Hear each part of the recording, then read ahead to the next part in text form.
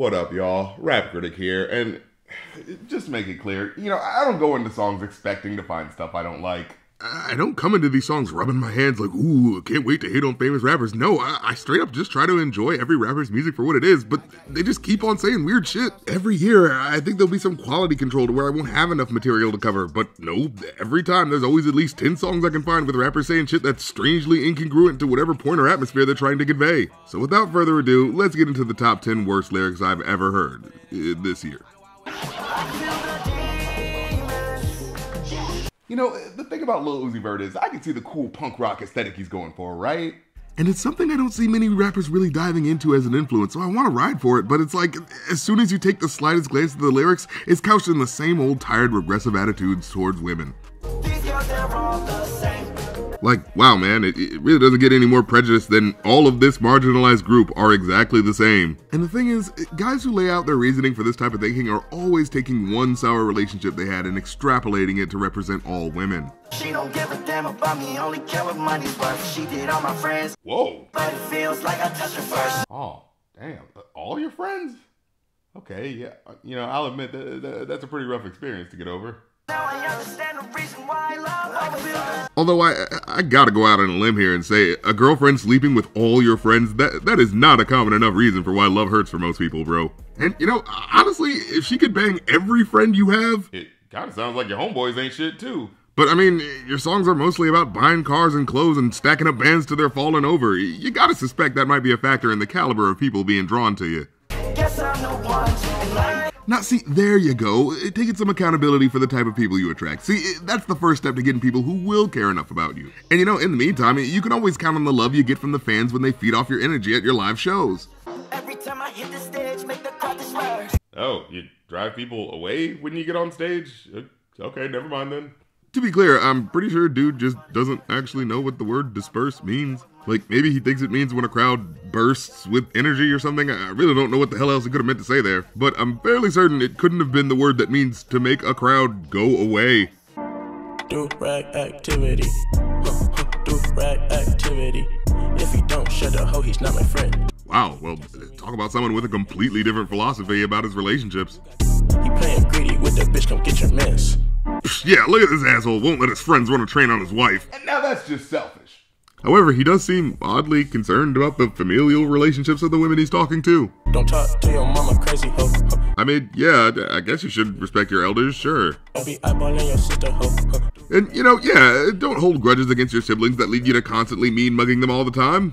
Have a baby ho. Uh, all right, well, that's definitely a much more demanding request. Give me top and my hair. Now while I'm praying, don't be. Uh, what the fuck? Yeah, you, you know how women be, always so eager to get their braid twisting, dick sucking energy out. Uh, they just can't wait for a man to finish his rosary. Like, what, uh, what the fuck is going on right now? So many questions. Like, is she trying to do both at the same time? And where's this religious angle coming from? Uh, that's just such a strange detail to bring up. And just in general, what woman is he with that's like, oh, to hell with his religious observation. I've just gotta suck his dick and braid his hair right now. These hoes just don't be respecting a man's religious journey. Am I right, fellas? I've been trying, trying, trying, trying to get you All my Rolls Royces got a different body. Facts. Mansory, kitted out with every option. Facts. Yes, yes, another brag song by Drake about all the crap he can spend his money on. Used to say I had it before I got it, now I got it all. And being honest, I don't really want to talk about it. Wait, what? I had it so long, I don't even celebrate it. What, what the hell are you talking about? You, you, were just bragging about the expensive mods you put on your luxury cars. Motherfucker, if that ain't celebrating your wealth, what the fuck is? Docking jet skis in the Florida Keys, and my diamonds all hidden like tie-dye. Oh, but he doesn't really want to talk about his money. He must just have a really specific vocal tic he's dealing with that makes him have to list off all the ways he's richer than you. Dropped him off at school, big day for my little man. Recess hits, daddy probably made another M. Jeez, the man can't even spend two full bars on his own kid before bringing up how rich he is. And that's the kid he was surely intending on raising and paying child support for before Pusha T exposed him on it, you guys. So you, you know it's serious. Damn, just imagine all the stuff they had to edit out to make the verse cohesive. Yeah, I want to talk about issues that's more important, but can't stop focusing on all of these whips that's foreign. No, wait, I didn't mean to say that. I want you to think about deeper shit like seats on this Maybach. Fuck, yo, man, I think I might actually have a psychological problem. Engineer guy, stop your head nodding. I'm serious. About stacking this paper. No, I mean with the words that I'm saying. Please stop. I'm not playing because this song is supposed to be a remix of Man in the Mirror. Put the platinum in my watch is clear. Fuck it. Dude, stop the track. I can't take it. Just like this haters can't stop my cats from getting their bitch butt naked. Shit. I'm trying to stop, but this is really hard. Why won't anyone help me? Out of the Scrooge McDuck money vault I've got in my backyard. God damn it. We got 45 bitches just living it up. Been too damn long without a sip in my cup. Now, Young Thug's latest album had him going for a more laid back, relaxed sound, uh, more often utilizing softer sounding acoustic instruments for his musical tapestry. So, in contrast to the in your face, bombastic blast of most common trap production of the day, it serves as an interesting aesthetic contrast one can enjoy the more muted down tempo novelty of. we going we going Yeah. Those have got to be the softest gunshots I've ever heard in my life. Although the album cover definitely gives me pause every time I see it, because it seems to be implying that he's the one playing these acoustic instruments, but that's clearly not the case, because uh, that, that's a guitar. You, you, don't use a bow to play a guitar. The strings are on a flat surface. You need the strings on a raised position so the bow can swing over them. Why is he pulling that string so hard like that? Uh, dude, you're to ruin these instruments. But you know what? Uh, maybe I shouldn't be so uptight about stuff like that. After all, he's going for a more mellow mood here, so hey, I, I should just relax and allow the comfy, chill vibes of the beat work to put me at ease. Venus and Tropez, yeah. Why is it so hard for you to cry when we reach? That's kind of a good point.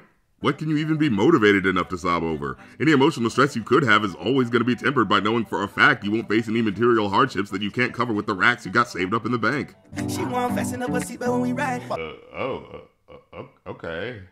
Well, hey, maybe their lives are just so free of consequences. The girl he's hanging with just needs to feel like there's some danger in her life, right? I mean, hey, when you're on Easy Street, I guess why not live a little on the edge? She was trying to tell me that with all her words, they were lies, but I let her get away with it, cause sometimes she wanna die. Uh, what?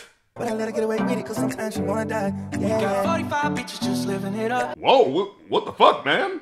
No, you, you, can't just end a verse like that right before jumping into uh, got 45 bitches and everything's good times. Like, what? This chick's lying to you about stuff because she's having a mental health crisis. That's like a whole other verse worth of stuff to talk about. You can't just drop that in the end like that's not the most jarring way you could have ended a verse over this light, sparsely produced track about kicking back and having a fun, carefree life. For God's sakes, man, the song's called Living It Up. Why would you get so literally, deathly serious at the tail end like that? We got 45 bitches and we're living it up. Well, I don't know what this bitch's problem is. So, so I guess we got 44 bitches who are living it up. Our thoughts create our reality. Confirmation that came from the CIA. Vaccines, the mark of the beast. Can't put no chip in me. Oh, God. No, man. No. Well, it is 2021, so, you know, we had to tackle at least one hip hop conspiracy nut. Dude, the government doesn't give a fuck about your spirituality or your genes. They just want you to get back to work as soon as possible so you can make money for the capitalist machine. I'm so sick of people thinking just because it's the government, they're always on some super evil bad guy shit. When the banal evil of it is, the rich are literally giving every mealy mouthed excuse they can to keep the vaccine from being freely distributed to poor countries purely because they want to make more money off of the patents first. If there was a microchip they wanted to experiment on the poories with, don't you think they'd be trying to give it out to the poor countries first and as quickly as possible. And what's crazy is in the music video, he walks off and fades away, which is pretty common music video shorthand for someone who just died. I'm a free thinker. You can't tell me what to do. oh shit. But you know, when someone has action movie protagonist syndrome, it always leads them to thinking the unpopular information they found must be the truth that the government is trying to keep away from us. But these people always seem to forget about a little thing called peer-reviewed study, which is what brings scientists to the common consensus they end up having so that data can be double checked upon. They don't do it because, ooh, they're just trying to hypnotize everyone into believing the same thing. They do it so people don't end up following someone who doesn't have any evidence to back up their claims. But what conspiracy nuts don't like to acknowledge is that they have preconceived notions that cause them not to question info that reaffirm what they already wanted to believe, which, since it sounds like common sense to them, causes them to retreat to their own bubbles where they can't be called out in their own communities, regardless of just how obvious it may be that they don't know what they're talking about. I'm picking their brains, but facing their head, they calling me a cosmetologist. A cosmetologist is someone who does hair and makeup. Maybe he means a cosmologist, but hey, maybe to him that's just big dictionary trying to control the common definition of words, man. Prophet make a prophecies. How many days the sun going down on the 21st? I say about three. And I, I, didn't even know what the fuck he was talking about here, so so I had to look it up. And apparently he believes, with no evidence or links I could find to back up his claim, that on December 21st, or around that time, the sun will go down for three days. And well, if you're seeing this video now, you probably know that that shit didn't happen. So yeah, make it that what you will. All right, guys, that's the end of part one. See you on part two, which patrons are going to be able to get early. So you know, get on that shit if you want to see it.